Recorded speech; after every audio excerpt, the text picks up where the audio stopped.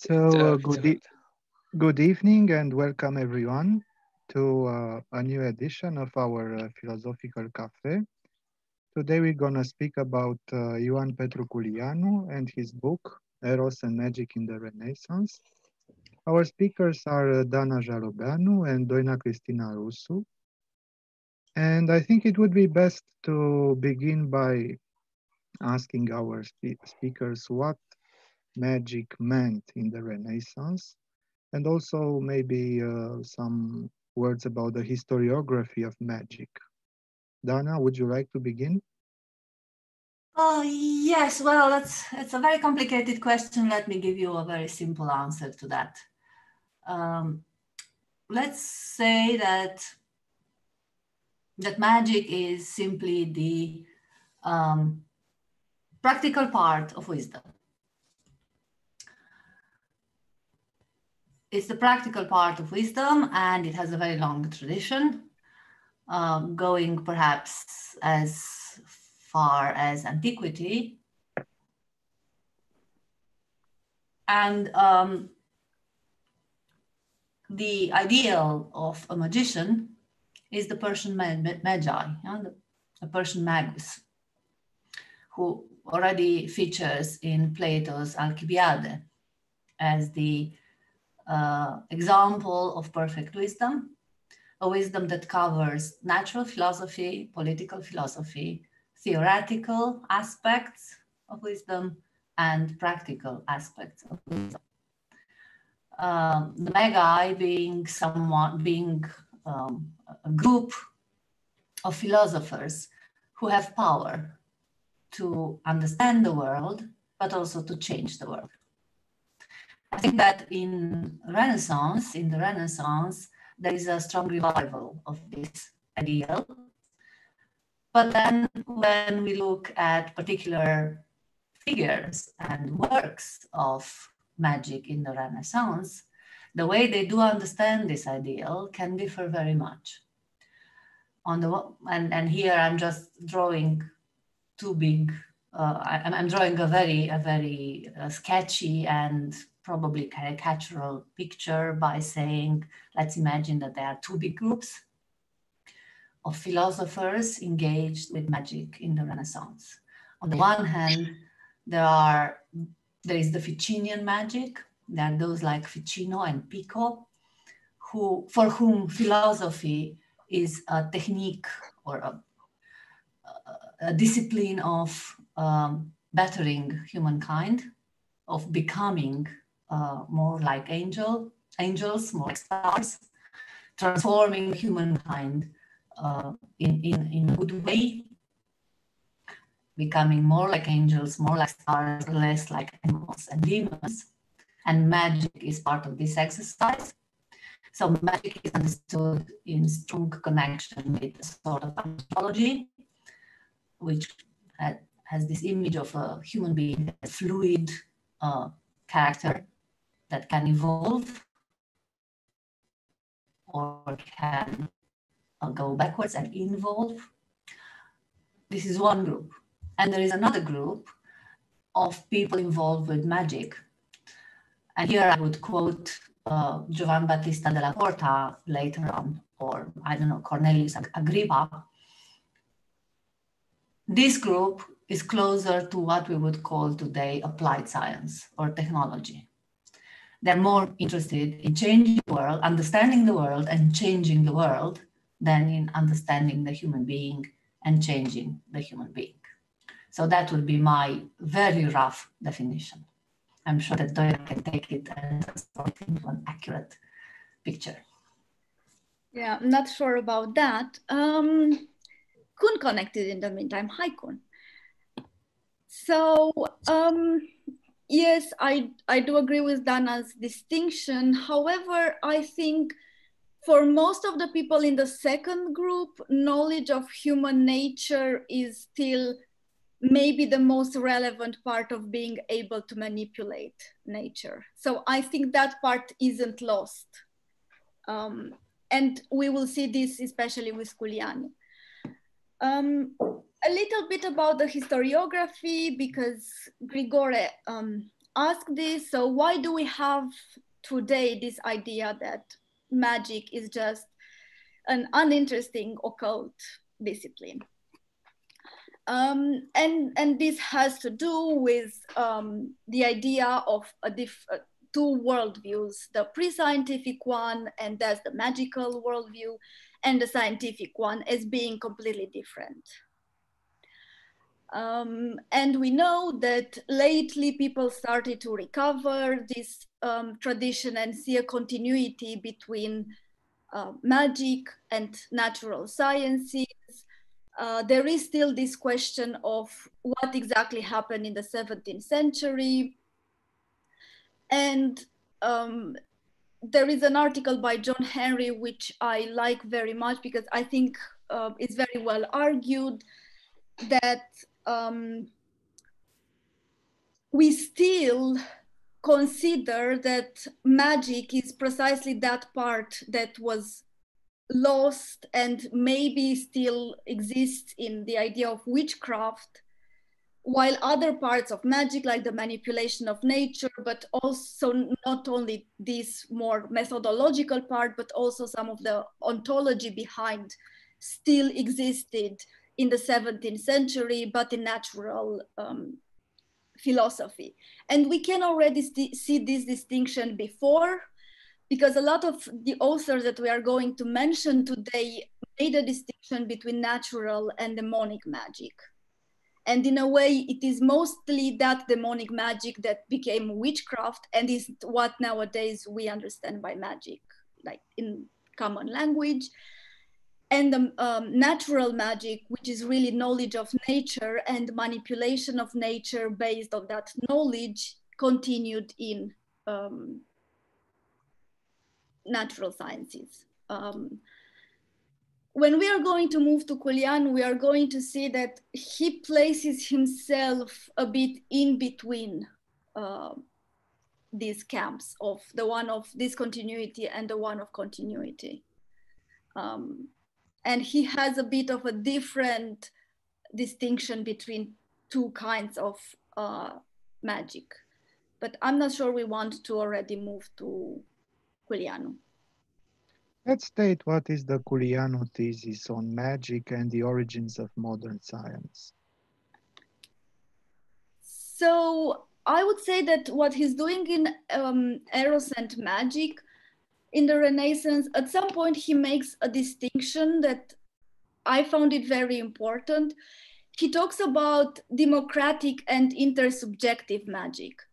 And the democratic magic is he considers that technology keeps that dimension of magic and there is a direct continuation between magic and technology. And he gives as examples uh, the plane. And this idea of flying was something that the magician was promising to people also communication at the distance. Also our conference today on zoom would be for Culianu really a this kind of democratic magic because we all have access to it. Intersubjective magic is something different, and that has to do with um, manipulating um, the imagination. And we are going to talk a lot about this. What I would like to say now is that he sees an indirect continuation between this kind of magic and some disciplines that only appeared in the 20th century, mm, end of 19, sociology, psychology, applied psychosociology, psychoanalysis. And the reason for this temporary disappearance in principle are the Reformation and Counter-Reformation and what he calls the censoring of imagination. So he considers that this part of magic disappeared for a while and only lately has been revived um, in these disciplines. So in this sense, he see a discontinuity. That's why I said that he's in between the two um, theses about the relation between magic and science. And he sees this discontinuity differently that um, someone like, for instance, sorry, discontinuity, no, uh, discontinuity different from someone like John Henry or those people saying, well, kind of the the leftovers of magic um, still constitute a discipline that is not scientific and uh, has nothing to do with science nowadays. And that's why magic has this bad name. Uh, but part of this for Culianu would be actually recovered. Dana wants to say something. I, I wanted to add something or, or make the picture a bit more general here um, by saying that today our I mean magic for us today is a very weird, strange sidetrack subject. Um, for the Renaissance and early modern philosophy, magic is everywhere. So again, if magic is nothing else but the practical part of wisdom, or as the Porta or Regan defines it, the practical part of natural philosophy, then you would expect a lot of people to do magic. And that's exactly what happens. So I think it's important to maybe emph- emphasize for those who are not Renaissance scholars or early modern scholars, but, but do watch us and listen to us tonight, that with very few exceptions, most Renaissance philosophers and quite a few of early modern philosophers were doing magic as well as other disciplines. Um, and I said Francis Bacon, I said already Marsilio Ficino, and I said Giovan Battista della Porta, but there are others.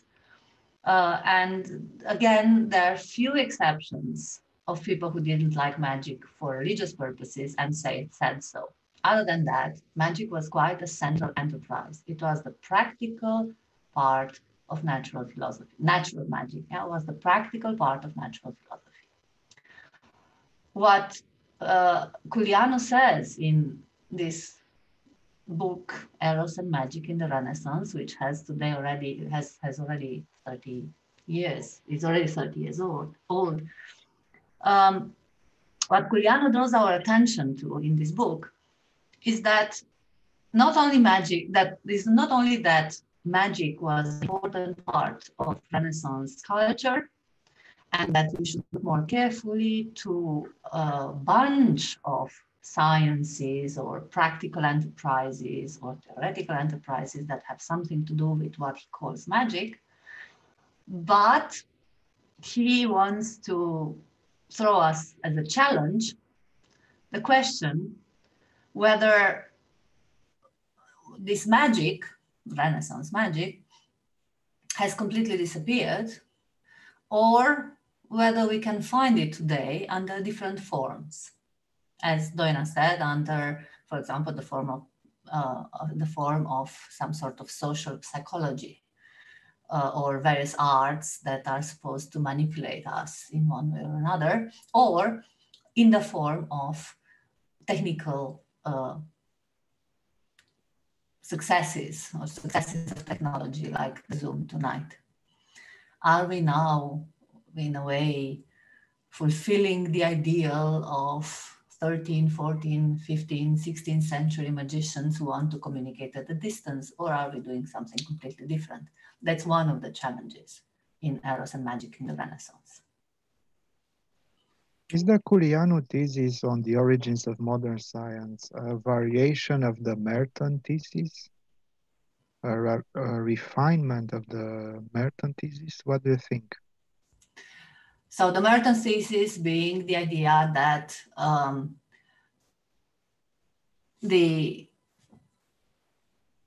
emergence of modern world begins with Protestantism or a form of Protestantism. That the Protestant Reformation, a special branch of the Protestant Reformation that Merton calls Puritanism, that happens in England, uh, is either solely or majorly responsible for the emergence of modern world.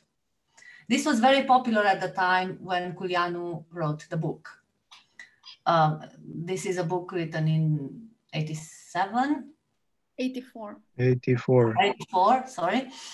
Uh, in the 90s, we have a, a, book edited by I.B. Cohen called The Merton Thesis Revisited. So, where a lot of uh, historians of science are rethinking and criticizing Merton thesis.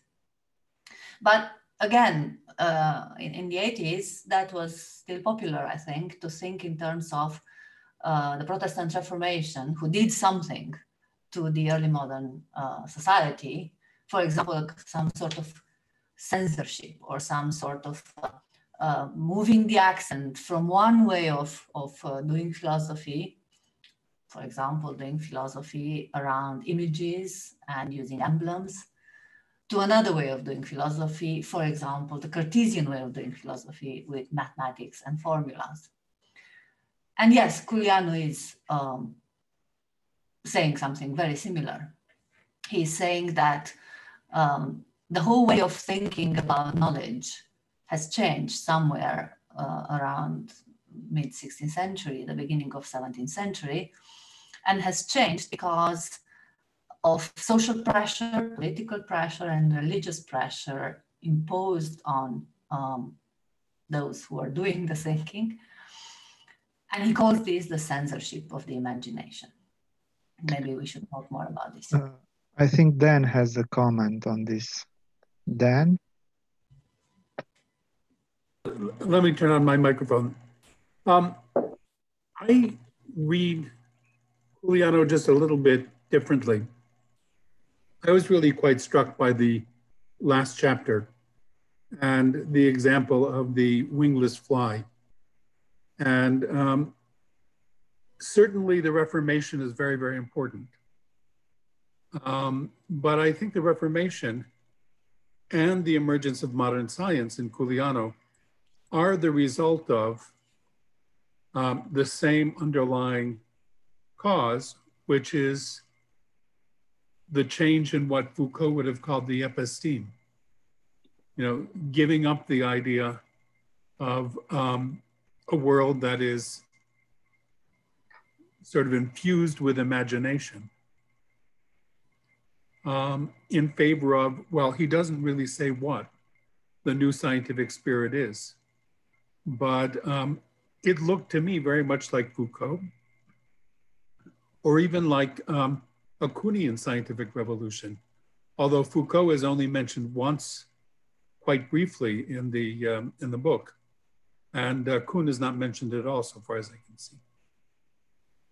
But there's also that evolutionary aspect that um, modern science, and by that he means experimental science, Culianu, um, um, is able to emerge when the um, environment changes in such a way as to make its survival um, possible and to, in a certain way, undermine the worldview that made Renaissance magic possible. That's in any case the way in which I read what it is that um, he's proposing. Yes, so, um, indeed, he doesn't mention Foucault much in Eros and Magic, but I was reading these days another book by him, Iocari Serio, and he makes a lot of references to Foucault there and the entire analogy and uh, signatura rerum stuff. So the entire second book of, of Les mots et les choses. So yes. Yeah, I'm um, not surprised. But he does mention in Eros and Magic and he's uh, kind of declaring himself um, as working within that framework is Feyerabend so the, the beginning of the, in the beginning of the book, he is almost declaring himself a disciple, disciple of Feyerabend, of the method everything goes, and you know, extreme tolerance with respect to ideas, extreme tolerance with respect to frames of the world. He talks about frames of the world. And, uh, and to him, history evolves just by changing a frame of the world with another frame of the world. That's also very 1970s, 1980s. Yeah.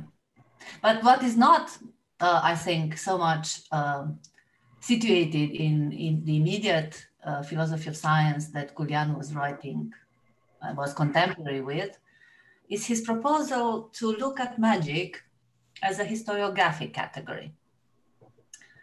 Uh, and I think, I mean, to me, that's the most important part, I think, of the book. It's not necessarily the main message, maybe, of the book.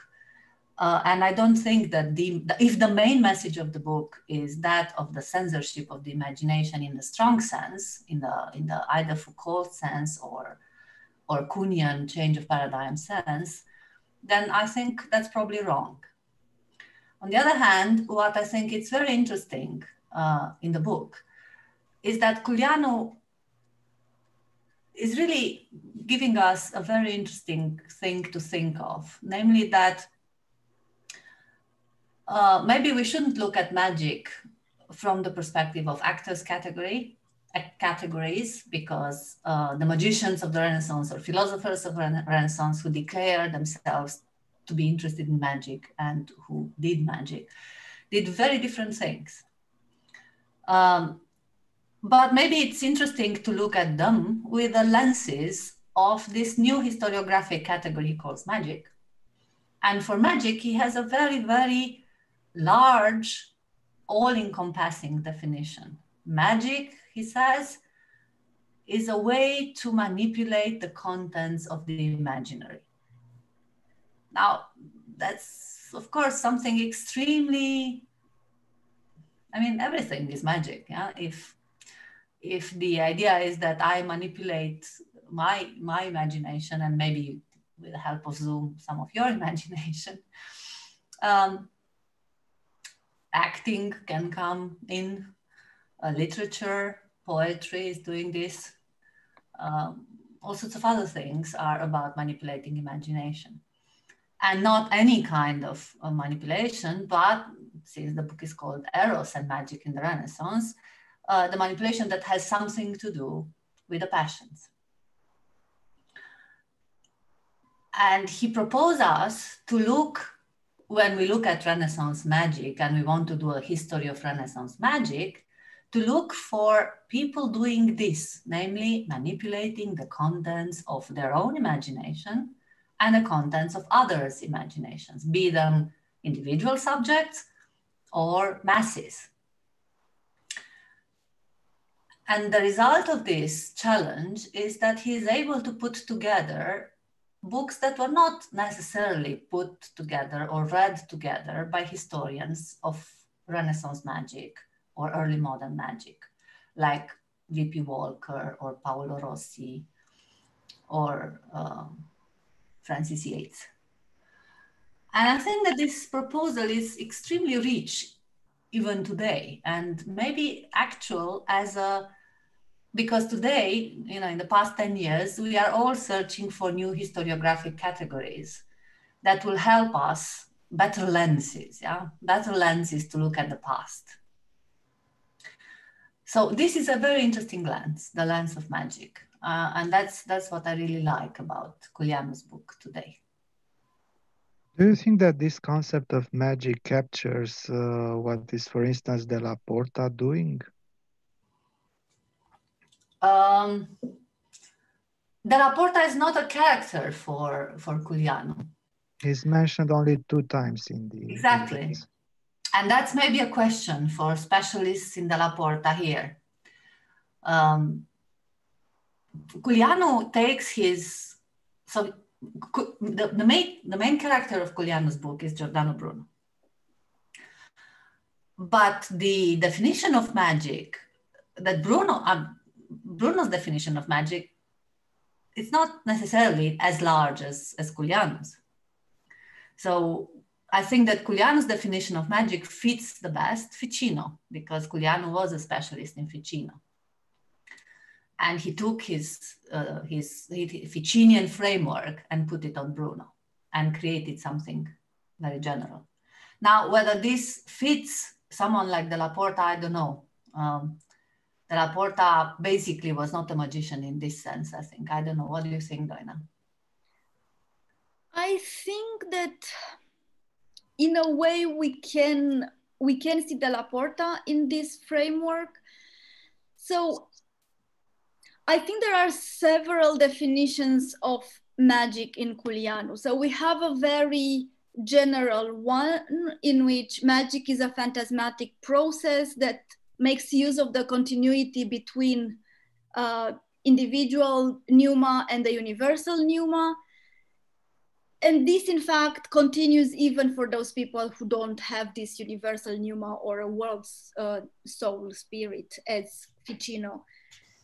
Um, and then erotic magic would be one part of this. Um, and indeed, so he mentions um, Bruno here because of the vinculis and because for Bruno, all the affections and passions can be reduced to love. Um, there is a really nice quotation from uh, Bruno where he explains how everything can be um, reduced to love. So, uh, for instance, um, envy is because of self-love and so on. And Bruno says that the strongest chain is the chain of Venus.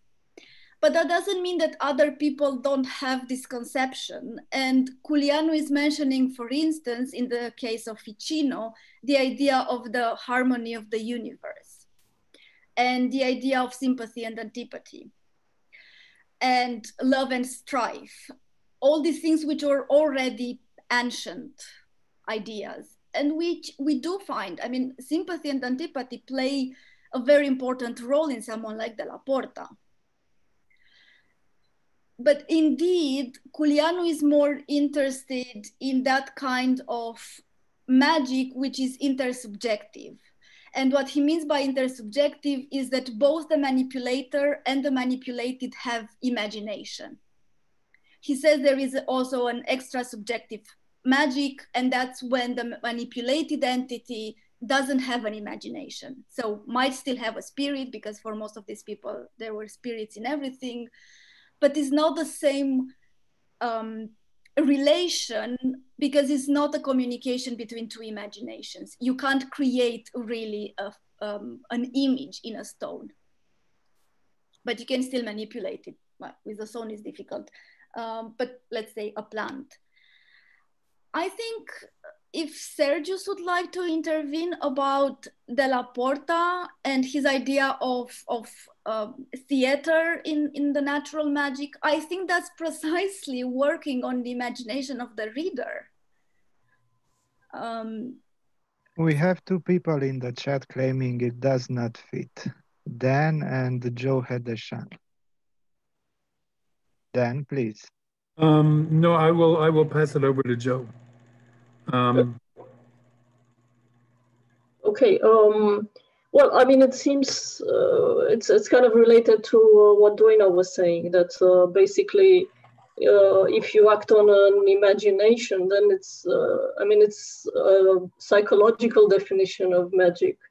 So uh, it presupposes that you um, you have an imagination. So it is about human beings rather than the material world, unless of course you uh, you assume that the material world somehow has this kind of imagination as well.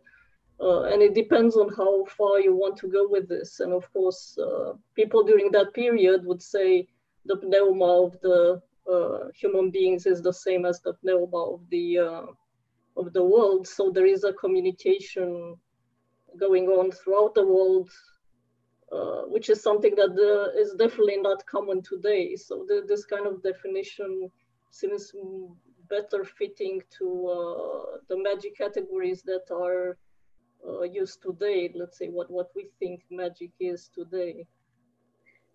Yes, but so what about chapters two and three of the Magia Naturalis? Where he describes all kind of monsters, um, either animals or plants. And the famous plants that are half something and half something else, or that you have a chestnut in a plum, um, and all these kind of things, which for them he claims, for all of them almost, I think that he performed them. So he really joined a human being with a horse and with a monkey and so on. Um, isn't in this case his aim to inflate the imagination of the reader? So what if we see the subject, not the animals or the plants that he's talking about, but the reader of the book?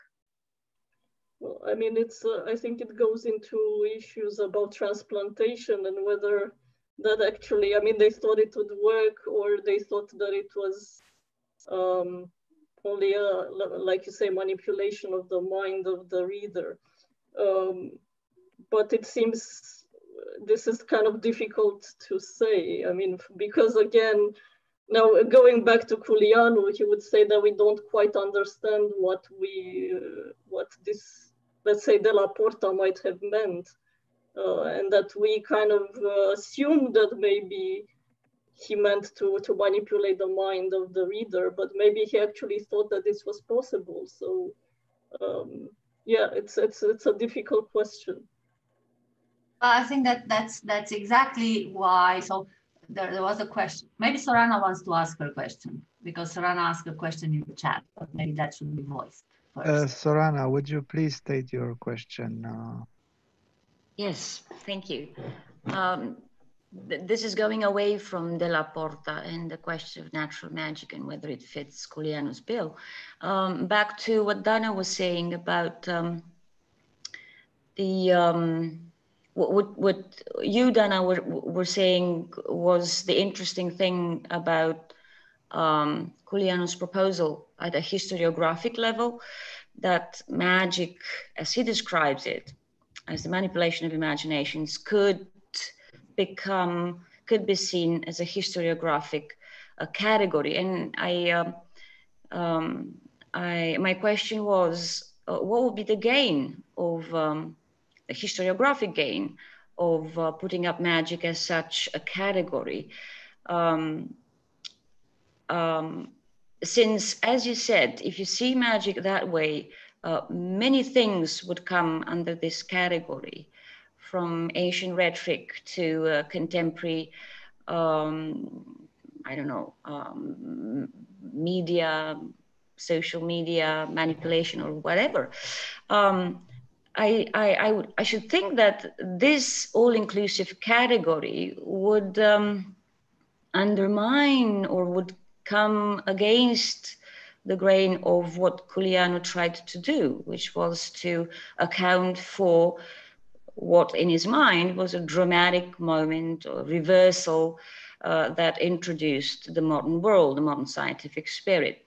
So uh, what he tried to do, um, not very successfully to, to my mind, is to um, account for this his, historical shift towards the um, modern uh, um, scientific spirit, uh, mind, or type of uh, thinking, um, with reference to what was lost. And what was lost is this precisely this um, uh, science of the imagined art of the imaginary. So um, uh, hence my question if if you see magic as this histori- historiographic category um, presumably uh, capable of doing um, epistemic work outside the uh, moment that Culianu wants to explain, then what would be the gain? Um, yes, well, precisely uh, the fact that you can um, discuss texts or authors that were never discussed together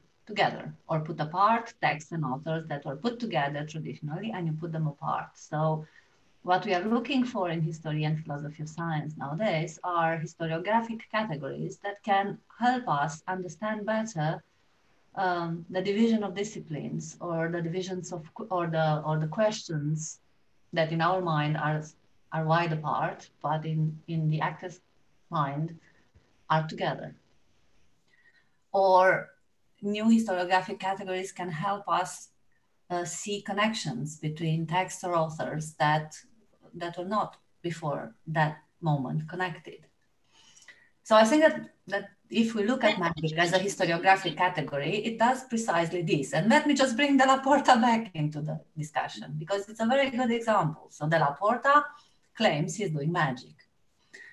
Um, now, if we if if we read uh, this in a very strict sense, natural magic, as in the second edition of Della Porta, which is more like technology, um, then it doesn't look very much like magic and it doesn't look very much like uh, Ficinian magic or Brunian magic. But if we look through the lens of Culianu's magic, namely that magic is a manipulation of emblems and a manipulation of the imagination, then there is a lot of this in uh, Della Porta's Magia Naturalis, as Doina pointed out, either at the level of um, modifying uh, the uh, borders between species or at the meta level of a theater of imagination. The book is a theater of imagination that acts upon the reader. And it works with the same emblems and the same contents that other um, Renaissance, let's say magicians, okay, philosophers interested in magic are doing. Uh, to me, the main um, interesting discovery in doing in looking at at this uh, Culianu's historiographic category was to realize fantastic similarities between Bruno and Bacon um, that that I haven't noticed before. I didn't bother to look at before, but with this historiographic category, they suddenly become obvious. Look, there are these two authors who actually lived in the same city and kind of streets apart for a couple of years and they're both using these emblems for the same things. Uh, shouldn't this be inquired into more carefully? Well, maybe maybe it should. Okay, so at this level, I'm saying that um, magic as a historiographic category can be very useful as all the new historiographic categories that historians of science are putting on the table now and then to help us understand better what we are reading. Ariana has a comment. Ariana, please. Uh, thanks, but there are more comments before me. I just, I just wanted to, to bring in modernity because if we are speaking of modern science, now it's generally agreed upon that you cannot place the beginning of modern science in the Renaissance or even in the early modern period, not as such, but rather in the 19th century. Of course, in a long period. And I think in the 19th century also the, the um, opposition between occult sciences and science was thought again. And I think this is very much in Culianu.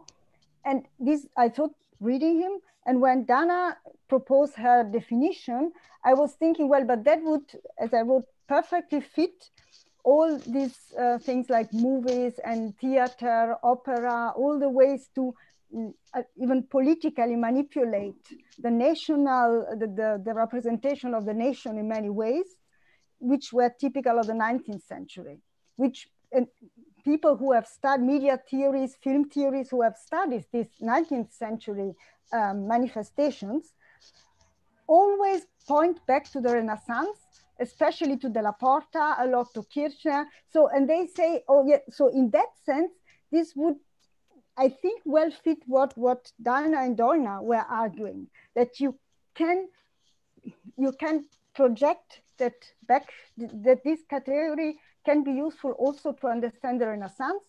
But to me, one would have to explicitly consider the, um, the role of modernity and how this categories that we that Culianu, in my opinion, was using for the Renaissance are also a product of the process which uh, determined modern science in the 19th century.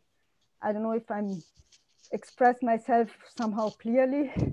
I'm bringing in another epoch. I know this is maybe not the best way to help the discussion. Thanks. Uh, Jo Hedesan and then Koen have some follow-ups. Joe? Uh, yes. Um, no, I, I, was I was just reflecting on the uh, whether this uh, historiographical dialogue that uh, Dana is mentioning. I mean, does it extend to um, yeah to putting in dialogue as Culianu actually does uh, Renaissance magic and modern psychosociology, as he calls it, or psychology. Um, I mean, it's uh, it's interesting that he calls this magic, and uh, I think this is somehow one of the most controversial parts of the book. I mean, can you actually call modern psychology magic? And I mean, is it useful to call it magic? Um, I've I've actually gone through about eight or nine reviews of, of Culianu's work, and almost all of them had this to, to comment. I mean, basically that he uh, uses presentist, a presentist position. I mean, he actually starts by saying, oh, psychology is magic, and then projecting it back in, onto the Renaissance. Um, and I don't know to what extent anyone has actually gone through and uh, analyzed this claim of his, and whether it's uh, it's useful to do that, or should we uh, drop that that level of dialogue across across historical periods uh, as being irrelevant? Uh, Koen, do you want to add something? Well, let me first just add something to your point, um, because I think it's interesting. Well, I think it's interesting that Culianu connects the, the psychological part with the magic, while I think in historiography, what we've seen is that uh, psychoanalysis and these kind of categories have mostly been used to understand witchcraft, um, which is exactly the opposite of what uh, Culianu understands with magic. And so, I mean, there is an interesting interplay there. And, and uh, in that sense, maybe it's a corrective to use psychological categories also for these other uh, practices. Um, but my, my question is more, and well, I really don't have the answer. And, and I hope some of you may have the answer if, if some of you have looked a bit more broadly in, in Culianu's work. And maybe, I don't know if he has work in Romanian that are not accessible to to me, and and I haven't read much more than than the book, but I'm I'm really wondering. I mean, since I mean. Yo and others have been saying like he's using presentist categories. He's looking, um, he's commenting on the present quite a bit through his historical work. So I'm I'm just wondering. I mean, do people have insights and so please, I mean, if, if people have a response uh, to that uh, on, on what he actually wanted to achieve with the book. Dan wants to add something at this point. Dan, please. Actually, not exactly on this point, because I'm, you know, I find it, um, I, the book is most, I mean, to, to address Koen's point, I think the book is mostly focused on characterizing um, a certain conception of magic uh, rather than on, I mean, the, the stuff about the transition to modern science and the connections with things like social psychology, psychoanalysis, and so on seem to be relatively brief add-ons at the end. But one of the big differences, one of the reasons why it is that I find the connection with sort of the contemporary social sciences and psychological sciences um, a little bit problematic is because one of the really interesting things I think about Culianu's conception of magic, I agree with Dana that one of the really interesting things about it is that it brings together a lot of different domains that appear to be quite separate. There is magic, there is witchcraft, there is um, the memory, you know, the, the, the, the works on memory, um, the works on politics and so on are all brought together under this idea of influence, influencing the world by affecting the imagination, which is, I think, a marvelous way to bring all of these things together. I don't know whether it counts as an actor's category, but they're obviously, but Culianu, I think, is obviously gesturing at um, a way of looking at the world that he's trying to characterize that brings all of these different things together. And he's calling it, and he's calling it magic. Um, I think, though, and this in a certain way addresses what Doina said about, you know, imagination and the rock um, a little bit earlier. It is, I think, for Culianu predicated on a worldview in which there are sympathies and connections, not only between one human being and another human being, but between human beings and nature as a whole. And there is a certain kind of what he calls, I think, a pneumatic magic that, that connects all of these things together. And even though to a certain extent the idea of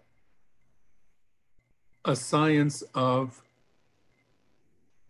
changing other people's imagination and acting on the world through imagination is connected with the contemporary psychological and social sciences.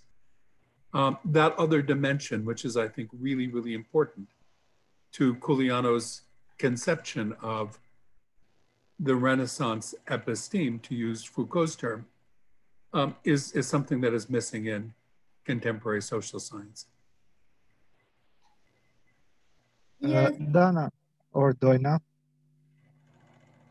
what kind of book is this, Dana? Is it a scholarly book? Is it a political commentary, as Koen says in the chat? What kind of book is this? Um, it's very difficult to say. I would I would describe it as engaged history or engaged history of science. Uh, there are some books like this. The people who really want to change the present and our way of thinking by appealing to our history. Um, and I think that Kuyan, that uh, it, to reply to Koen's um, question, I think that that's roughly speaking the ambition of the book. Um, it's not so much a scholarly, it's not a scholarly book in many ways. And it actually, many of the bad reviews that it got from the experts is because it's not scholarly enough. It's a book with a very wide appeal to the public. I mean, we are still talking about it 30 years after. People are still reading it. Students are still discovering it. It's still in print, as opposed to many other books, you know, like the fantastic book of Paolo Rossi, which is very difficult to find. Francis Bacon, From Magic to Science. It was a fantastic book, but it has been out of print for years. Or Frances Yates or other books. But maybe Frances Yates is in the same category with Culianu.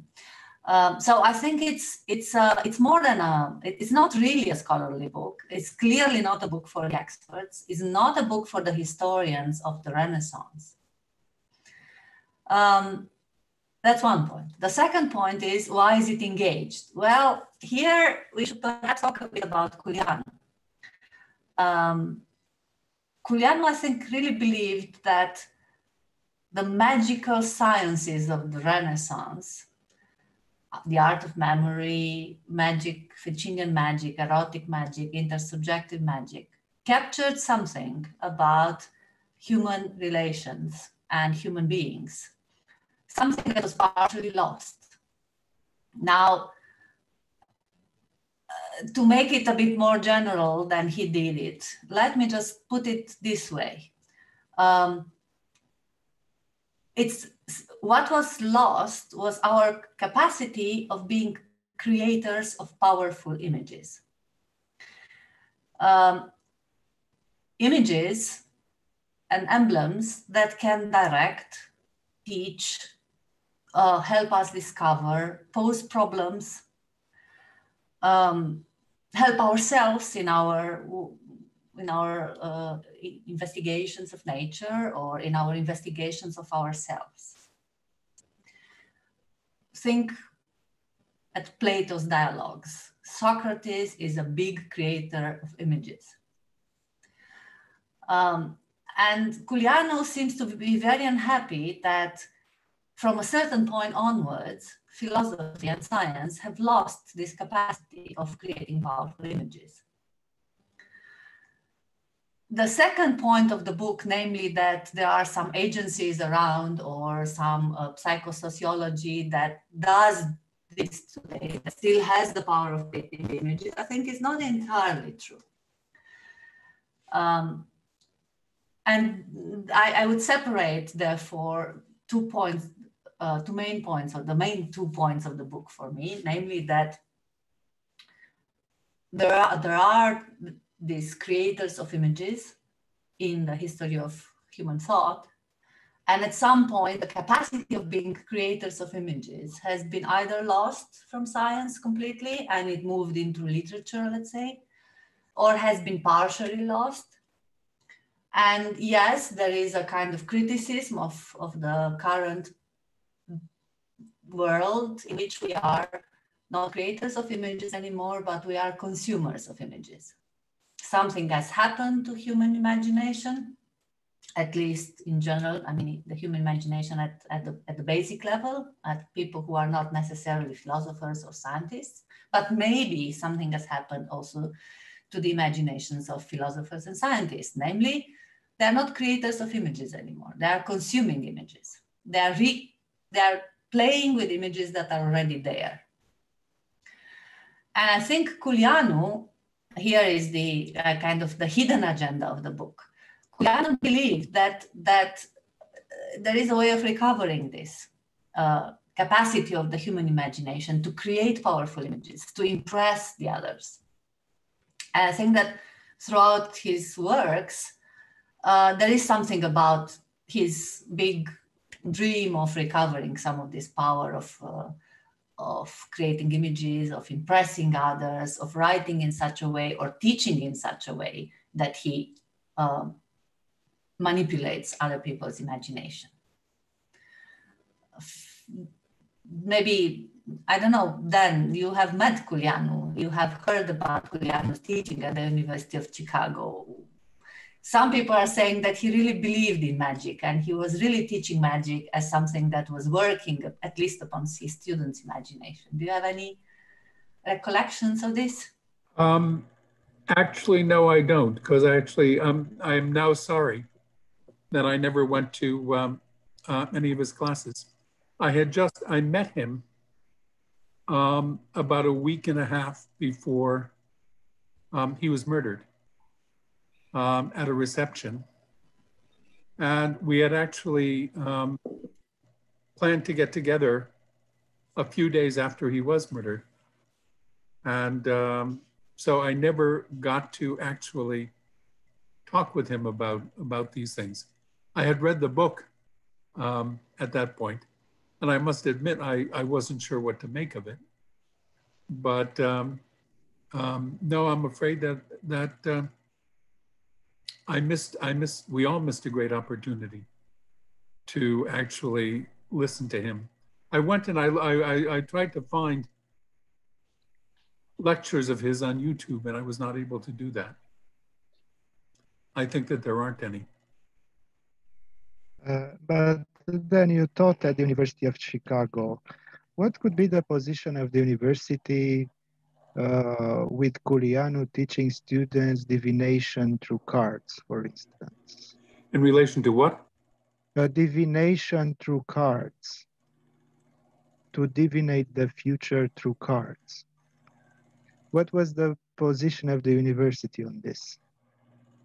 Um, to the best of my knowledge, the university didn't have a position. He was teaching in the divinity school at the University of Chicago. He was a, uh, uh, of course, the reason why he went to Chicago was because Eliade was there. And um, that's, that, that's what attracted him there. That's, I'm sure, why it is that he went there.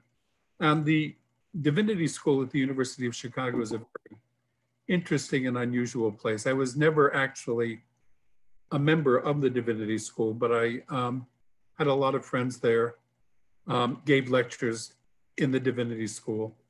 Um, it was a sort of um, um, very broad, humanistic, historical, open-minded conception of religion in the broadest sense. And so he was officially, I guess, brought as a historian of religion, although this book is certainly a lot broader than that. Um, and they, the university was, I think, very pleased um, um, to have him. The day that he was murdered, um, there was scheduled a meeting of the faculty senate And um, I was a member of the faculty senate at that point and uh, was walking past the divinity school to uh, the meeting. Uh, and I met the president of the university, Hanna Gray, who is also a Renaissance scholar, uh, coming the other direction, which was strange since she was supposed to chair the meeting. So I asked her what was, what was going on, why she was going in the other direction. It, when she informed me of that, the university shut down that afternoon. Um, it was, it was a, a, a, tremendously shocking event. He was, um, I think, very much valued um, by the university. There was, the work was unusual. The work was obviously controversial. Um, but it was also, it was also the sort of thing that I think was appreciated very much. Somebody who was a genuinely original and innovative um, scholar was very much appreciated, um, even if his work was a little bit um, um out of the ordinary. I would like to mention here an uh, idea that Dana told me, namely that he's using these emblems in his own book. So for instance, the wingless fly is just one sort of emblem. Dana, would you like to say more on this? It's you told me this, and I think it's. Oh, so what you are what you are saying, Grigore, is that this book has a meta level, uh, and at the meta level, Culianu is playing his uh, theory of magic upon us, the readers, uh, explaining at the same time how this works. So what are we? What are we today? We are consumers of images we look at commercials. We are manipulated by movies. Nowadays, when we read, um, God forbid, but I, am afraid that if students read today Homer, they would think of Achilles with the face of Brad Pitt. Um, and you know, there is my, my famous example of a, a small village in Scotland that erected a statue of Braveheart with Mel Gibson's face. I think that this is what Culianu is saying when he's talking about the censorship of the imagination, that we are somehow now in thrall of uh, images created by others, and we are not able to produce our own images. And we can look at this book as a book that is serving us some images like the, like the wingless fly but it's also explaining to us how a creator of images like Bruno was doing um, what was doing his tricks. Uh, and what does it take to be a creator of image images as opposed to be a consumer of images. So that that was my point that or, or rather my question whether this book whether the success of this book the fact that this book survived uh, it still has some appeal. Uh, it's not due to this kind of meta level reading in which Culianu is um, is playing a bit of magic upon us. We have a whole discussion going on in the chat. Uh, for instance, Koen claims that magic works. Uh, Koen, would you like to uh, say something about uh, what you wrote here? Well, if you define magic as manipulating the imagination of someone else, I mean, it's clearly working. I mean, it's what we started with, like even the Zoom session today is Dana is manipulating our imagination. So I don't think that's very controversial. Um, it depends on how you define magic, right? And if you follow Culianu's definition, I think, I mean, as you have been saying yourself, I mean, he's he's manipulating our imagination through his book and so forth. So there's many many levels to that. Uh, Jo, would you like to add something? Uh, please turn up your microphone. Turn turn on. Yes. Um, my point was that uh, Bruno, I mean, actually, uh, also uh, divided between, let's say, creators of images and consumers of images uh, in relation to Dana's point. Uh, I mean, he was, I think he was perfectly happy uh, that uh, some people are just, uh, you know, gobbling up images.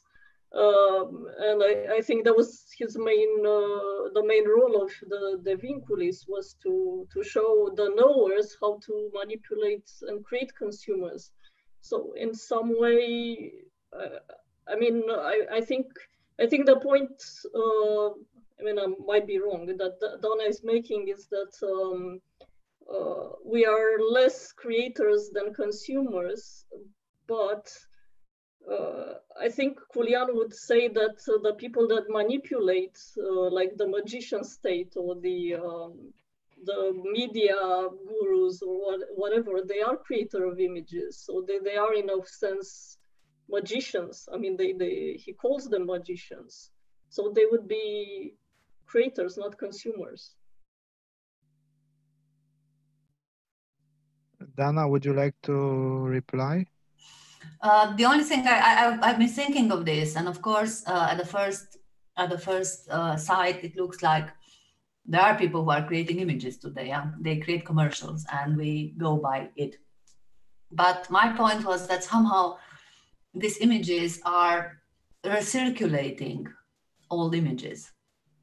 Just think how many, um, you know, there is a trend in the past 20 years when you look at movies, Hollywood movies, for example, there are mm, in ma ma major part of Hollywood movies are remakes they are recirculating old stories, they are recirculating old images.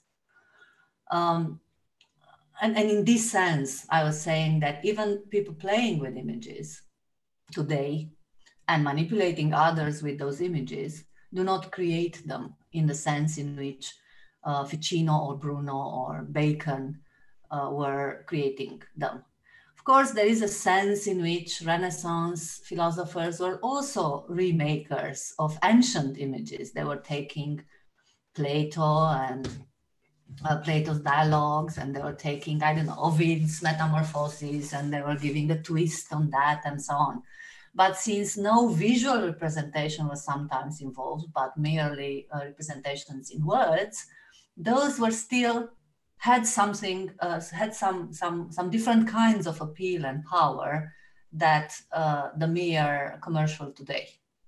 So here I see a big difference between um, using uh, emblems in the way in which Bruno did and using a movie today to convince us, to persuade us to buy a new brand of coffee or something like this. Uh, and maybe we should bring to the surface the discussion on the yeah. Uh, Sorana has a comment to the point. Please. Yeah, um, I suppose what I was uh, saying was something you also implied, but not entirely, because you're saying they were recirculating things in the Renaissance at the level of texts. And I would say, no, they were recirculating a lot of visual uh, stuff uh, in their images. Uh, they were, um, um, you know, uh, making the kind of collage of uh, ancient images that is very much um, um, part of the techniques of, um, of image makers today. So what is the difference? Exactly. I, I don't think that the, um, I don't suppose you want to say originality is what um, is at stake. Because I don't think you want to say that originality is a Renaissance value. Um, and um, isn't it perhaps rather, as Culianu seems to continuously um, suggest, although he doesn't make of it the main point of what he's saying, but it looks like it is the main point. It's that these images are used for a spiritual purpose he's, he's giving us the Neoplatonic framework. He's telling us that those images uh, help with the ascent of the soul, with the discipline of the mind, uh, when he brings in the Stoic connection as well. Um, so is this the difference at the level of what you do with those images rather than what they are? Absolutely. So I think that the main major difference is that um, in creating an image with words, uh, even if that image is a recirculation of an old emblem or fable, even if that image is something that has been represented, you know, Botticelli's Venus or whatever, uh, described by Ficino with words in order to create a talisman, uh, that gives you a problem. It gives you something to think of. Um, a commercial is not is not giving you a, but, a problem. Dana, here's where where things I think no longer add up in Culianu's account. Um, those images are not supposed to give you food for thought. They're supposed to manipulate you in the Renaissance as today. So he wants to, to put these two things together, and I wonder how that works. The spiritual, the noble usage of the images, and the, excuse me, and the thesis about the manipulation right? Let, let, yes, but let, let me give you a simple example. There are manipulations and manipulations. Mm. Uh, you can tell uh, your child a story, and uh, the story has characters, and you can describe characters with your own words, and you can describe them very, very accurately. And the child still has a lot of room for thought um, I was shocked when my little niece knew perfectly well how the little siren looked like from, from the movies, and she didn't accept any addition to the fact that the little siren has to have blonde hair and a green something and some green stuff here and there. And there was nothing to add to that. Uh, and th- th- there was no question about how do you think this character looks like anymore. So I think that even if I mean literature is manipulating us, you in, you, you, you think manipulating us in this way, not in the way in which commercials are manipulating us. You think children were more reflective in the Renaissance? No, we're more imaginative. Okay. children are less I imaginative. that very much.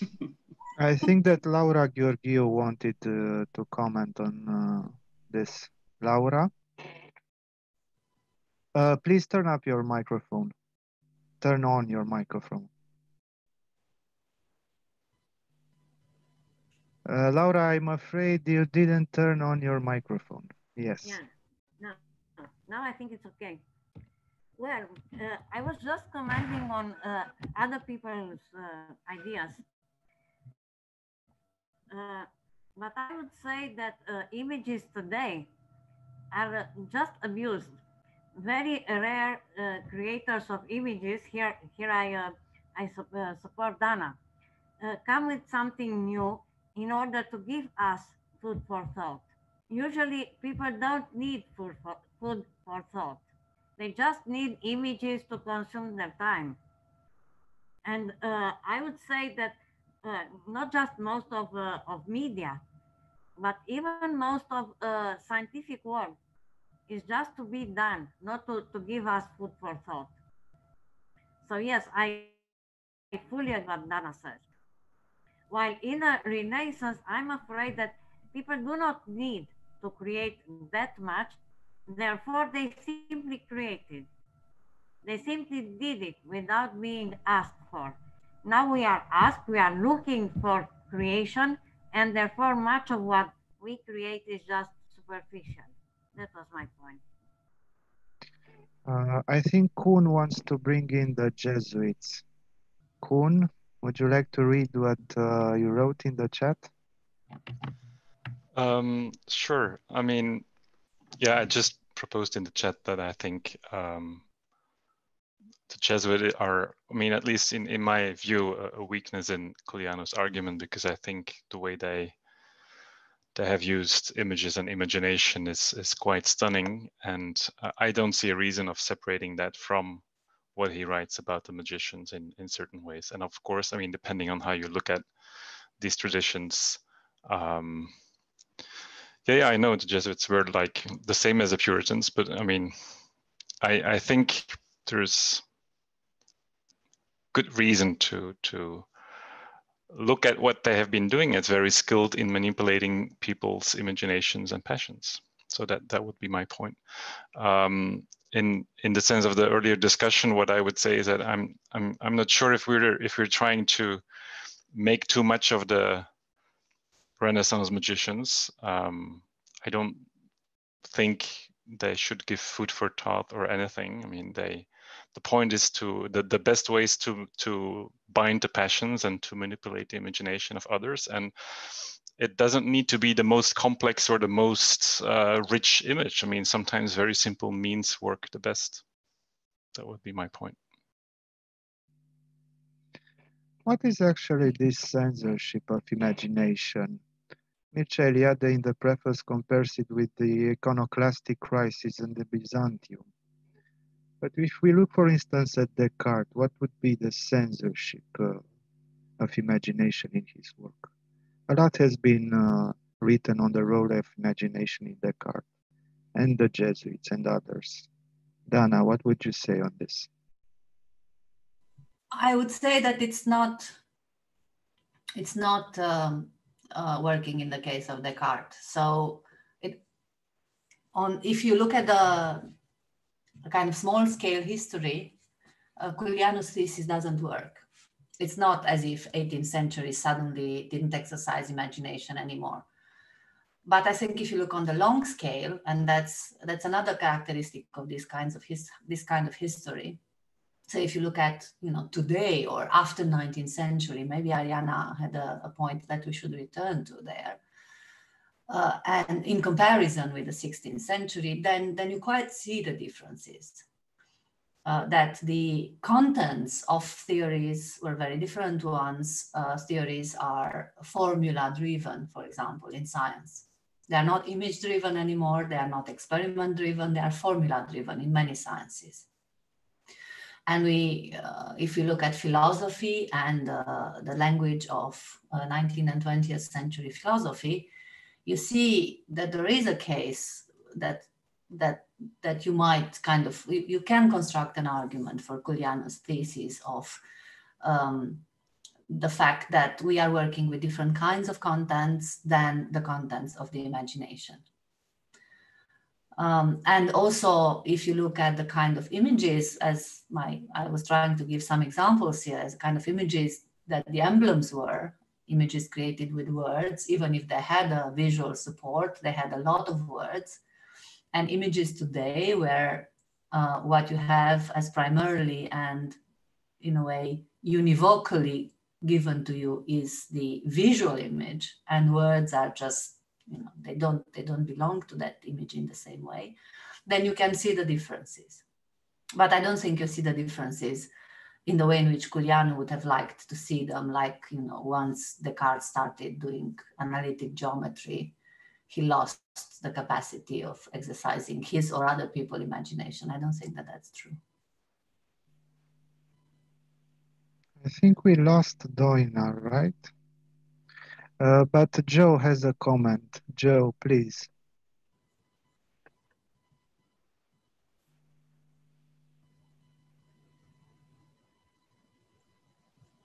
Sorry. Um, so my, my point was uh, in, in, direction with Koen's point, um, and it was about uh, the Jesuits. I mean, the, my, my point was that um, uh, is, is referring to, uh, I mean, he's making this structuralist argument about Puritanism, and somehow this doesn't quite fit the historical data. And I think that that's somehow the main problem of his argument is that this structuralist uh, point of view doesn't quite quite nail it down the, the historical uh, historical um, aspects. I mean, he, his main point is that uh, that religion censored uh, the imagination. So any kind of uh, religious perspective in some way is sus suspicious to him uh, as being, you know, part of this counter-reformation or the Puritan movement, as he calls it in, in general,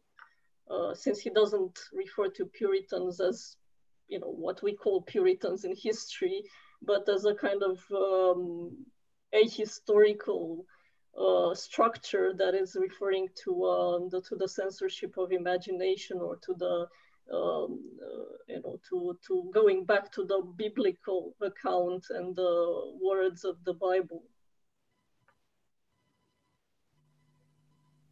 Koen? Yeah, I mean, I I had that question in the chat before, but I'm I'm I'm I mean, I guess the thing I'm struggling most with is is maybe this question like how to work with this kind of book. I mean, we said it's not literally like it. Well, it, it doesn't fit the historical data necessarily. It's it's an engaged history. So how do we? And also going back to to Dana's point, like, well, how how and Sorana's point, how, how can this be kind of an inspiration for a new historiography? um, if we're doing scholarship.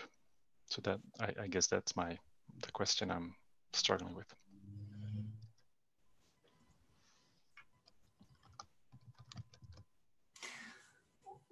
Well, one way of replying to this is to say that uh, history as non-engaged history, the ideal of objective historian, is a Weberian concept, is a 20th century concept.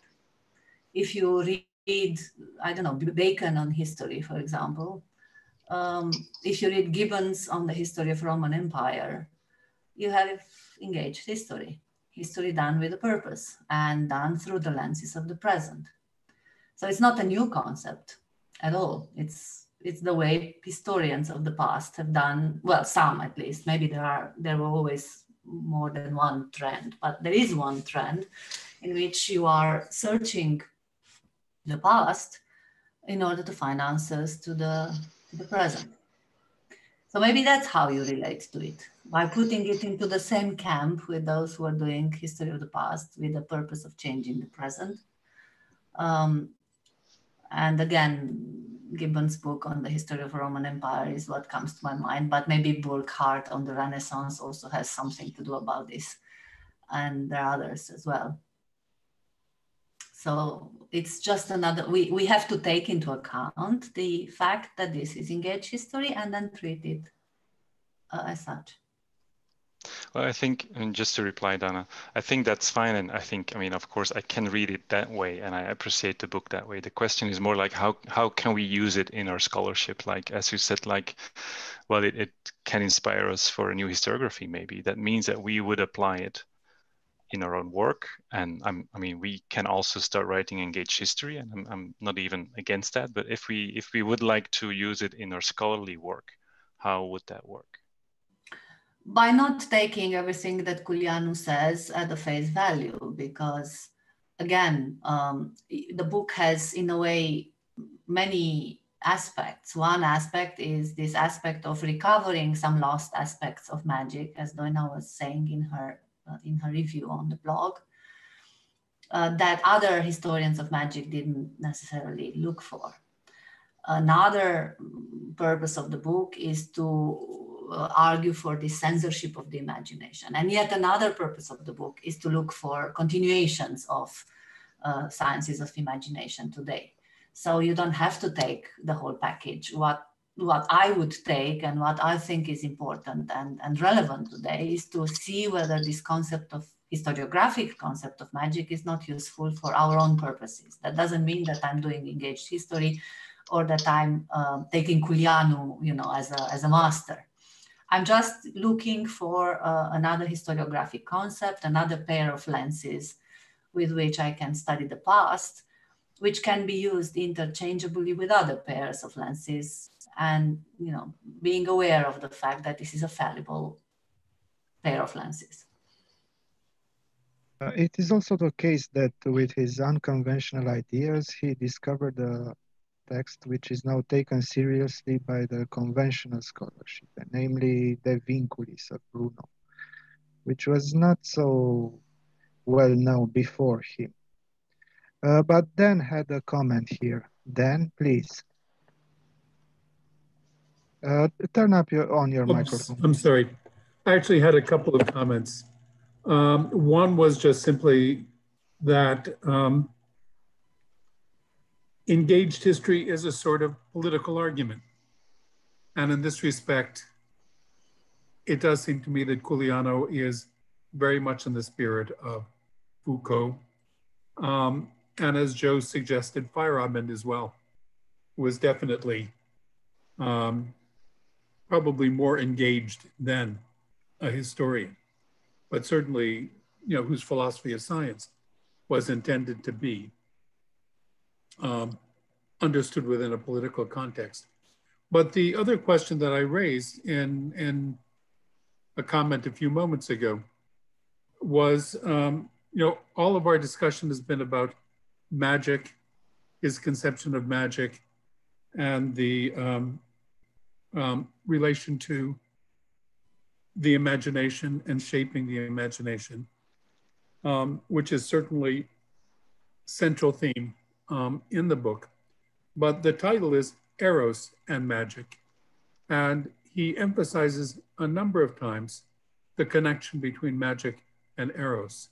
And I'm wondering what the Eros adds to um, the discussion of magic that we haven't been um, uh, concentrating on. Well, unfortunately, we have lost Doina, who would have had an answer to this. Um, yes, Koen, maybe you want to take it over. Well, I don't know. I mean, I, I don't. I wouldn't say I have the answer, but as far as I see it, Eros is is desire for Culianu, and uh, that's the whole core of the whole thing. That's how you create a bond. That is how you manipulate an imagination. And imagination is is triggered by a desire. Um, so that that would be my brief response. That it's it's really it's the same thing. I mean, it's so interconnected that I'm I'm not sure how to separate it. So imagination and eros are for Culianu the same thing? Well, eros and desire, and I think Im imagination would would be um, is is the kind of thing that um, well, I mean, traditionally both of, of, of, of course, passion and imagination are closely connected, but I think for, for Culianu, very strongly so. Um, and I think in both ways, I mean, the des desire uh, basically binds the imagination, but also the other way around. Imagination also uh, influences desire, obviously. Well, but more than that, I, I, I would say that the idea of a vinculum, the idea of imagination creating links and connections with people. And Dana, the way in which you presented it before, it is a question of simply the power of imagination. But I think I think for Culianu, one might say, it's a power to do what? It's a power to build connections between people. And if we're talking about what it is that's lost in moving from the Renaissance um, episteme, again to use Foucault's word, to the um, um, modern scientific conception as Culianu is characterizing it, that may be something important that's lost. The eros part of the, the desire that builds the vinculum, the links, which is again something that he emphasizes, I think, in his reading of Bruno. I think yeah. Jo wants to add something. Well, I, I think there were. Uh... Okay, so, um, I think I was trying to make two points here. Um, for one, it seems to me that uh, when when he actually goes into a lot of discussion, I mean a deep, deeper discussion, it seems like he makes, I mean, Culianu makes a connection between eros and this whole idea of universal attraction or universal sympathy. This this uh, whole idea of uh, you know things um, attracting and repelling each other, which is of course the, the basis of most, uh, or if not all of natural magic during this period. Um, but uh, my question uh, slash comment was that, uh, uh, I mean, he somehow also kind of tries to um, you know, to have more exciting, uh, I mean, to, to go for the excitement, for uh, let's say things that are catchy Um, and uh, in this relation, uh, I, uh, I, I found really funny um, Charles Webster's review, uh, who was actually criticizing uh, uh, criticizing Culianu for you know associating the amount of female flesh with with the index of emancipation. Uh, I mean, he actually says uh, equally unfortunate and somewhat distasteful uh, Culianu's remarks concerning attitudes towards women. Uh, and he adds that readers will object to Culianu's use of the amount of female flesh exposed in the fashions of the period as an index of em emancipation.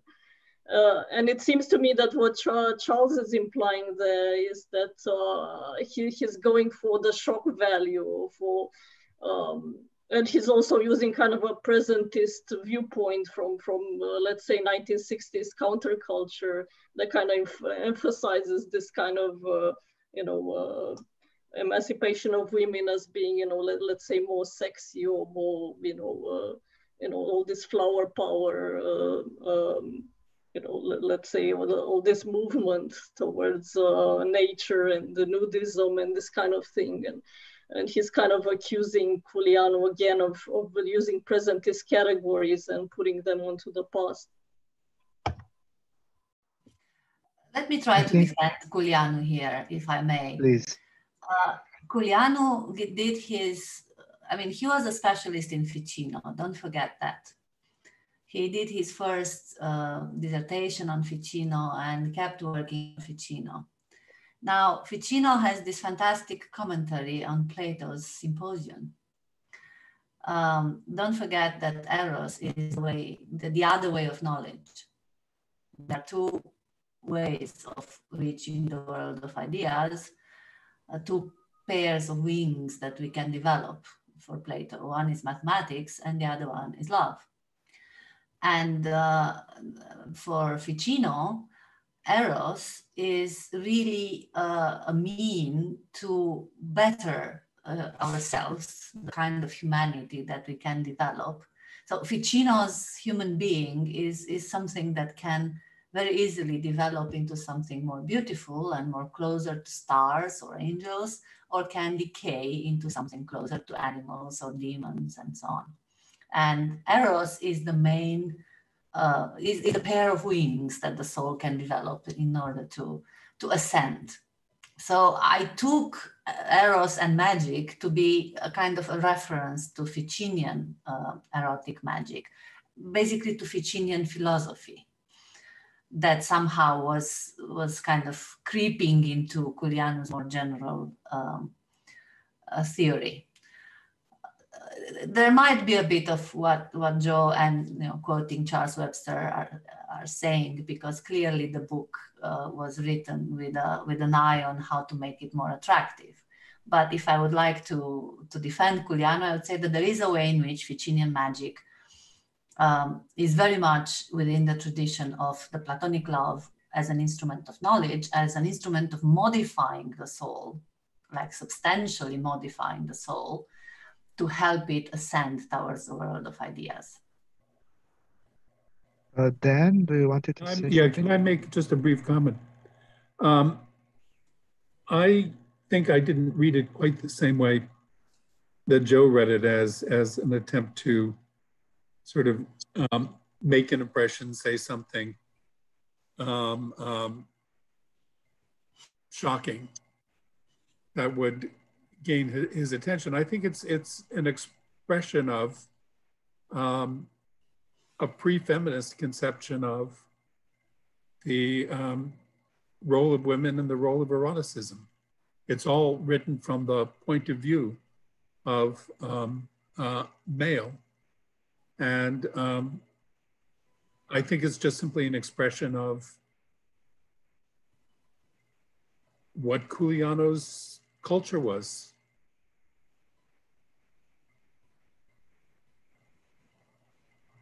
Uh, Sorana, do you want to add something to this? You wrote uh, in the chat Ficino plus flower power. Um, yes, um, which seemed to me um, a good a good summing up of what had been said before, but that was not my point. Uh, rather, um, I would come back to something I said earlier. Um, since Dana is emphasizing this Ficinian side of things, which is certainly there um, a lot in the book, um, as is the um, Stoic um, uh, purification of phantasms described very nicely actually. That that that is the scholarly part of the book. Um, the um, description of the neoplatonic and the stoic traditions and that that's really um, a, a, great read uh, still i think still today even at the scholarly level. Um, so how does that stand? So that is the part where the emphasis is, as you say, Dana, on the ascent of the soul, on the on the clearing of the mirror of of the heart. Beautiful. Um, uh, part of that is part of this tradition of, of spiritual exercises, um, of the trajectory that the individual engages in, uh, either by himself or within a small community of, of um, uh, traveling the path to wisdom, right? How does that stand with the other emphasis of the book on the strictly manipulative part? You were saying earlier that this, the, the manipulation in the Renaissance is not really the gross manipulation of our days, but rather uh, sort of invitation to reflection. I doubt that. And Koen had a comment, and I'm with him. The kind of the, kind of manipulation that is talking about is is manipulation. It's, it's not a way to wisdom. It's, it's uh, operating on others by tapping onto their desires and weaknesses and ignorance. Culianu talks explicitly about that. So, um, how, does, how do they stand together? Excuse me. Are these two facets of the same story? Um, or are they distinct stories that uh, do not integrate too well in, in the overall narrative? I think there are facets of the same story. Now, think again of Socrates. Socrates is a manipulator. A really, you can read what Socrates is doing to the poor youth of Athens as being gross manipulation for a very good purpose. But the first step, if you if you think of Plato's dialogues. Think of Charmides. Charmides begins with a straightforward lie in which Socrates claims that he has a cure for Charmides' headaches. And in order to cure his headaches, he's going to first engage him into a discussion and then touch his soul and then take him with him, with him, with Socrates in a fantastic journey think of Alcibiades, you know, there are all sorts of examples in which uh, Platonic dialogues do have this aspect, the aspect that we ascribe, that we put it on the side of the manipulation. Um, I have a, I have in mind now, I don't remember the quote now, but there is, there is a fantastic recurrent um, thought in Seneca's letters to Lucilius that basically says logic and even rhetoric, as understood as you know, kind of continuation of logic for the Stoics, doesn't do the work that philosophy should do. Because it cannot change your mind, it cannot transform you. For the inner, inner transformation of the soul, Seneca claims you need stronger um, medicines, stronger instruments. And what are these stronger instruments? And that's the big question for Seneca. What do I have to tell you in order to take you with me in a spiritual journey? In what way do I have to phrase my words? What kind of images I'm supposed to use? This is manipulation. And I think that this is exactly what Ficino does. He is assuming all sorts of literary devices, constructing all sorts of things, interpretations, risky interpretations of Plato. He's constructing it himself as a persona of master. He's inventing the whole story of Platonic Academy for the purpose of you know, creating disciples, putting together schools. That's what Bacon does he, with his stories of the New Atlantis and so on. There, there's a lot of manipulation in there as well. Um, so they, they are not, you know, the, mani- the manipulation and the, the rhetoric of the, or the teaching, okay, the lit- literature and philosophy, they are not very, it's very difficult to draw borders between them. They are not very separated. They are not very much separated. Uh, can I add something? Sure. Uh, yes, the, the way you present them, yes, they are compatible, and but that's only one facets of the problem of of uh, manipulation, as you know, um, uh, in, in in the period.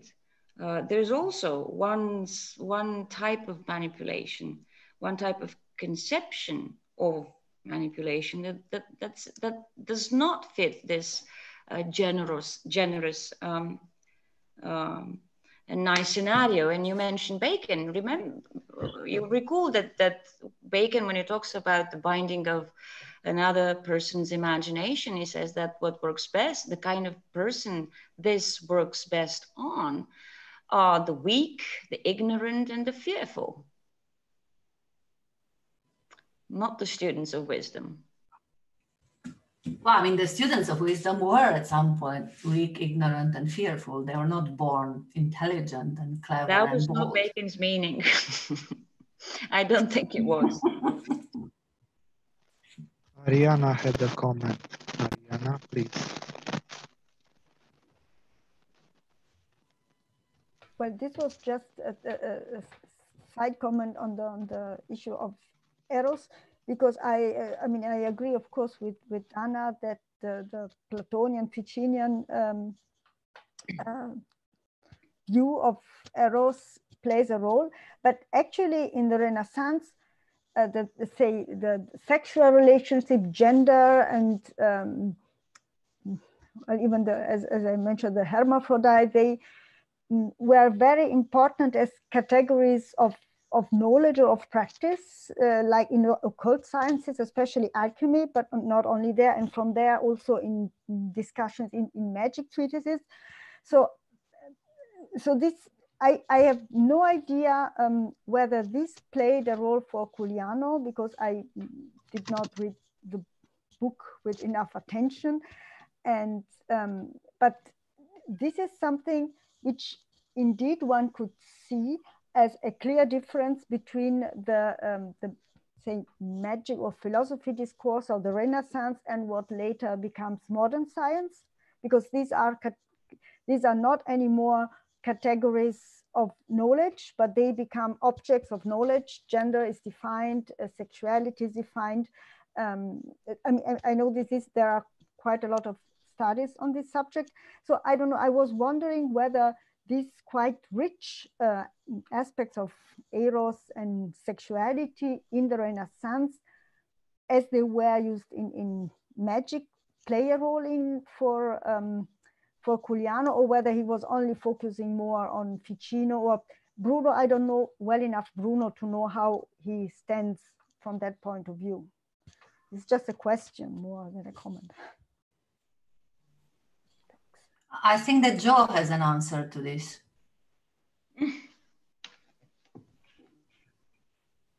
I mean, seems to be in the chat. Uh, well, um, I mean, it's no. It seems to me that um, I was kind of referring to the, the, discussion beforehand. I mean, basically about the manipulation um, and the fact that uh, Culianu actually talks about Bruno as being uh, this kind of immoral, uh, I mean, writing this immoral treatise, uh, which is basically, uh, he says it's more important uh, nowadays uh, in some way than the, the Prince of Machiavelli. And I mean, he's implying somehow that, that Bruno is um, not necessarily concerned with the, you know, the, you know, helping you achieve the higher self, but rather um, you know, just being uh, manipulative towards the goals of someone that is, you know, uh, he's writing for. Um, I mean, it's it's kind of a, an interesting point, which which made me think more about um, the fact that he's actually writing it for, uh, let's say, a princely audience or let's say rulers that would manipulate the masses towards some kind of higher philosophical ends. And in this sense, maybe there is a there is a connection perhaps between his views and those of uh, Plato's Republic, or, or this idea that you know you um, you know the rulers or, or someone important would would be able to decide what is best for the masses and basically manipulate them without them knowing uh, towards this greater goal and um, I think that's somehow his criticism of the magician state that he makes later is the idea that this magician state, by which I think he means uh, the US really, um, is not somehow involved in this, um, in manipulating, I mean, he, they, uh, let's say the Western world is manipulating, but they're not manipulating it for higher ends. They, they don't, have this kind of Brunian or Platonic vision of of where to go with it. I mean, what what to do with it, with this uh, science of the imaginary that they've discovered. Um, so uh, perhaps in this sense, this is this somehow his a more subtle point he's trying to make. Um, so yeah, I'm for discussion. So. I think that you know we assume you know in this discussion about manipulation that you can be free of manipulation. That um, you yourself as a person, I mean, I as a person can somehow develop outside of uh, manipulative influences. And this is, of course, not true for the Renaissance view of a cosmos where everything is interconnected and also not only interconnected, but very sensitive. So bodies in the Renaissance are very sensitive to external conditions. They're always manipulated by something, whether, you know, heat or light or astral influences or words and songs and music and images. Um, souls are like small like like you know detectors of, of waves let's say they're always in motion. Uh, the magic here is a kind of art of uh, giving a, a sense and some sort of direction to all these motions uh, in either in, in my interpretation in a good sense, I mean trying to raise the soul and so on and so forth, or in the bad sense, if you talk about manipulating masses, or just giving some sort of, or just proving that this is possible. I think a lot about Bruno is just proof that this is something that works, not necessarily that we have to do it, but here is something that works. If you do this and that, you manipulate all these sympathies and create, uh, aggregate all these forces, and the result is a substantial change in matter, because no, spirits are also some, some form of matter. Koen, do you want to add something here? Just to it's the pleasure to contradict Anna, so to speak. Um, well, I think Culianu says that uh, the magician needs to control his own desires and imagination, and in that sense, he would be free of manipulation, and that that gives him the control of all the others. So, and I think that's that's a very interesting. Yeah. Point. Well, here is the tricky. Here is the tricky point, actually, and that's the next step I wanted to actually introduce into the discussion because yes, the Bruno uh, actually, and Culianu following Bruno says that uh, you have to manipulate the powers of eros, but you yourself have to be free of the powers of eros, but you have to play as if you're not free. So the magician is a great actor. Uh, and now if we introduce the term, the, the, the, acting category here, we are back to Socrates, who was a great actor, wasn't he? So what is this acting? In what way you are at the same time free of desires, but playing as if you do have desires? And uh, i don't know. I have no i have no answer to that. But again that that reminds me of the famous scene of the Plato Symposium, where Socrates seemingly tricks Alcibiade in believing that Socrates desires him, and in fact, Socrates doesn't. And the whole thing is a very, very interesting theatrical uh, scenario at the end of which we are supposed, well, supposedly Alcibiade learns something. Sorana? The pleasure of contradicting Dana is shared by more than one. That's what made our, has made our conversations very sparkling uh, throughout this period. So Dana, isn't it the case that Socrates was not really free of desires, but rather that, as he confesses, uh, he knows how to control them? There was actually a story circulating very much in the Renaissance about um, um, uh, about this, about the fact that uh, you cannot really change your nature. And Socrates is of a passionate nature. He does uh, uh experience eros, right, towards Alcibiades, but has uh, grown virtues, and the virtues have been able to tame, um, or rather keep in check, rather than completely destroy his passionate nature. No, I think you're absolutely right. But this is where the acting uh, comes in. So um, the controlling your passions doesn't mean you are transforming yourself into a stone face, um, I don't know, creator of images and, and professors of philosophy. It means it transforms you into a fantastic actor. And in the, I think the same goes for Bruno. And by the way, I think the same goes for Culianu, what Culianu wanted to do perhaps with his students and with his books. Can I, can I raise a question? Can sure. I raise a question here? Um, I'm, I'm actually a little confused. First of all, I do think it's not really possible to be without desires. But if the point of magic is manipulation, and creating vincula among people and between the magician and other people isn't it necessarily the case? I mean, if the if the magician did not have any desires you know let's leave leave aside the question are they erotic or are they not?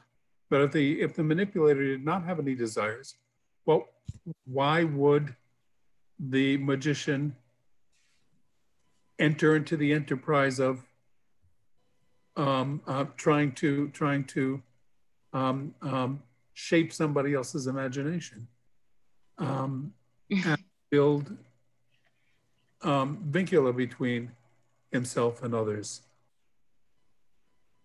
No, I, you're absolutely right. Of course, uh, I think the that there is no. I mean, free from desire doesn't mean uh, free from desire in our sense. It means someone whose intellect is controlling his passions um, and it's keeping someone who is keeping himself in check all the time. So the difference is the difference between the creator of image, the manipulator of image, and the consumer of image is that the first knows himself and uh, knows how, how the faculties of his mind work and knows how the universe work. I mean, let's go back to where we started. Magic is supposed to be the practical part of wisdom. It's not, not just a game of, you know, cards or it's not the, uh, the magician is not the counselor of a king that would create uh, um, masses, uh, mass hysteria to do this or that. I mean, not, no, no Renaissance magician would, would agree with this kind of definition. The magician is supposed to be a wise person, namely someone whose intellect is controlling one's passion and keeping imagination in bonds. And the practical part of wisdom was to do something to other imaginations as well, or you know, to, to modify the world according to wisdom. So in this sense, I would say that uh, when when when when Bruno talks about manipulation, even if there is uh, this, there is this dimension of the fact that you you manipulate the weak because it's easier to manipulate the weak than to manipulate other strong minds as yourselves. Uh, you are doing it with the purpose of uh, increasing wisdom and or you know going towards wisdom and uh, doing something i mean that that that's what practical part of wisdom means is, is machiavelli's is machiavelli's prince uh, a magician in that sense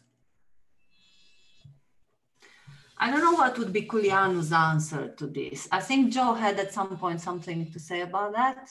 Uh, well, I mean, certainly he uh, seems like Culianu was uh, thinking that uh, Bruno's magician was stronger than, than Machiavelli's prince. Uh, but yeah, I mean, my sense was that uh, Machiavelli also wanted to be some kind of magician. And uh, the prince uh, well, this is this is a big question. I mean, is the person that um, I mean, is is Bruno as a magician giving, uh, let's say, giving advice to Queen Elizabeth, let's say, about how to manipulate masses? I mean, is Elizabeth becoming a magician by the means of his advice, or he's uh, as a magician he's manipulating her? But uh, th this is uh, yeah, it's it's a question of of magic. Um, but my my um, my point was my point was a bit different in that I, I wanted to underline something that um, came, I think came out of the discussion, uh, it, it, it, which is that eros somehow is higher than magic. I mean, it's it's not the same thing. I mean, uh, it's it seems to me uh, that what, comes out of it is that uh, Eros somehow unites with the, let's say, the divinity that's, that's somehow um, the theory. And whether after that you use it to manipulate uh, other people, then that, that's, uh, that's afterwards. Um, I'm trying to make this clearer. Uh, I mean, basically, Eros is more like a mystical experience of, of the divinity in, in the Ficinian sense and in Pico's, especially in Pico's sense. Um, and then the decision that, okay, I'm gonna actually use this uh, divine inspiration to, um, for the purposes of magic seems to be, to me, that it's, it's a bit different. And it goes back to uh, Dan's point about uh, whether I mean uh, whether you want to manipulate or not, and and this goes again goes to the point of desire. I mean, do do you want to manipulate or you don't want to manipulate? And I, I think Bruno would say that. Uh, yes, I mean, it's uh, somehow your duty to manipulate in order to make the world better. And I, I think it goes back to this, this whole Renaissance magic uh, purpose, which is to, to uh, improve the world around you. So, so in that sense, manipulation is equal to, to the um, to improvement of you know the, the, the masses or the people around you. I think that's actually Machiavelli's um, conception of the prince as well.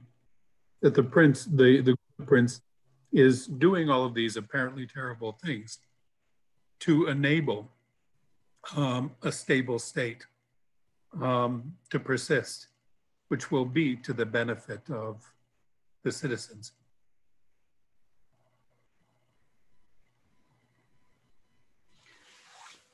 We are uh, slowly approaching to the end. Maybe as a conclusion, our speaker should say what they consider to be the most fruitful part or what remains out of this book. And I would ask then, what do you think is the best part of Culianu's book? The one that still remains. It's not outdated. You're asking you're asking me? Yes. um I actually find um, for me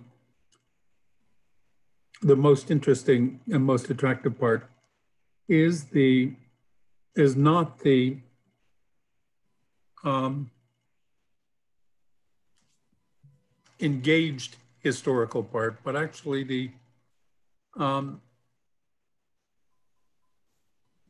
the attempt to sketch a very different way of looking at the world than we look at it now. And um, I appreciate that there are some questions about its historicity, but in a certain sense, as, as a literary project, um, I mean, one can do that by writing a novel or perhaps making a, a historical film. But the idea of um, trying to portray what it was like to be somebody like Ficino or somebody like Bruno and the way in which they looked at the world. What I, what I, um, for me, the reason why one does intellectual history, history of philosophy, history of science is, for me, it's out of a kind of intellectual tourism. The idea of wanting to go back and live and, and experience an exotic culture. And I think that that's for me what, I, what, what it is that I find most interesting about uh, Culianu. It may be, in a certain sense, a fantasy the way a novel is, to the extent that maybe it's not historically completely accurate, but it's still very engaging. And that's, I think, what I take away from the book. Jo, you raised a lot of criticism. Uh, is there something that you liked in this book? No, actually, um, I, am I'm, I'm sorry if I give that impression. Actually, I, have always loved the book. Um, I mean, it was actually one of the the readings that uh, were a turning point in my career and made me go into academia and especially to study the Renaissance. Um, and I, I think uh, I mean, it is very, it is actually difficult to, to put myself in in my teenage years to, to remember, uh, but I thought it was um, a very, you know, um, exciting reading. I mean, it, it made an exciting reading about the Renaissance, and and he opened new new ways of thinking about it. Uh, which of course when, when you look you know you look backwards with the eyes of a scholar that has more experience maybe you find all these um, these things that are in, inaccurate. But uh, yes as a, as a reading um, as an uh, let's say an introduction to to to the subject of renaissance magic and to uh, to excite you about this topic i think it, it was a very good book uh, and I think it still excites people, and that's one of the reasons why it's uh, why it's still being read. Um, and I, I think there are there are definitely other aspects that are exciting, you know, and um, certainly the the presentist position is, you know, you as a scholar you criticize it, but uh, it also engages your imagination.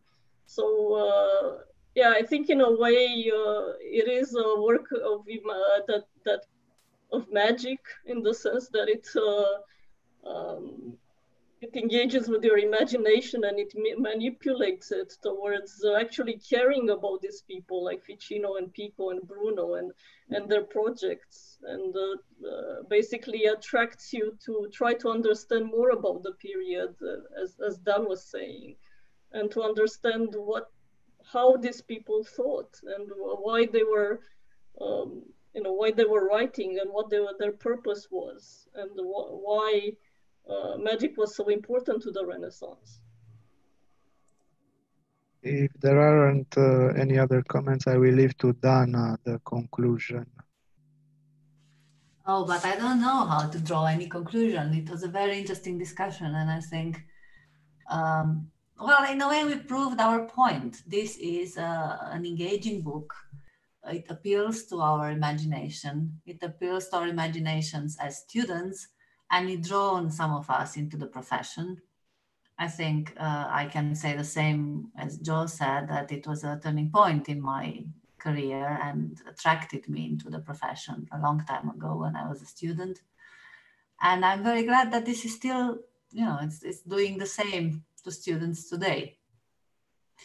Um, it's it's again I'm I'm claiming it's not a scholarly book. We shouldn't take it to be a scholarly book, but it's a it's a very important book um, for precisely this purpose. And I, as I said at the beginning, uh, rereading it now as from the scholarly perspective, I, I, felt challenged by this historiographic concept of magic. And I think that this is uh, useful for the scholar today to read, to reread uh, Renaissance texts with, with a different kind of lenses. Okay, let's thank Dana. We might open the microphones and clap. There is no reason to clap for anything. It was very, it was a very nice discussion that is ending our um, summer, uh, the philosophy after dark, um, our summer season or whatever, how shall we call it, second season of philosophy after dark. So I would probably, together with Grigore, wish everyone a kind of good holiday or good beginning of the year in the case of, of those who are already beginning a new academic year. And maybe we shall see each other again in the fall. See you in September. Thank you very much, Dana. Thank you. Thank you. Bye. Bye.